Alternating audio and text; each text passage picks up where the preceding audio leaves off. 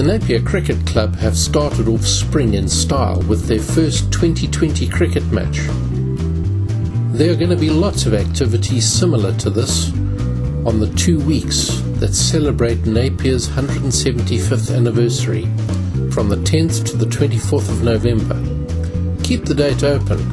There's going to be lots to do, lots of fun, lots of things to see, and plenty of activities for the children. Come and join with us. Celebrate. We're rolling out the red carpet for you. Be part of it.